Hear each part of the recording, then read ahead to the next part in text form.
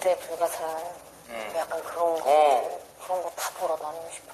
이집트 가서 보고 싶고 아, 어디 가가지고 신기한 것들 막 다 보고 싶고.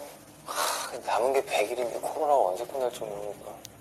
근데 그 가정에도 좀 코로나가 없으니까 코로나가 없다면 가정을 해보자면 진짜 뭐 100일이니까 뭐 뭘 어떻게 해서든 비행기로 막 모든 데를 다니면서 그런 것들 다 구경하고 싶어요. 못 봤던 거. 따라갈게요. 아, 저는 사실 그 내 버킷리스트 중에 또 하나가 뭐냐면 세계 지구 세계에 있는 모든 음식을 맛보는 거야.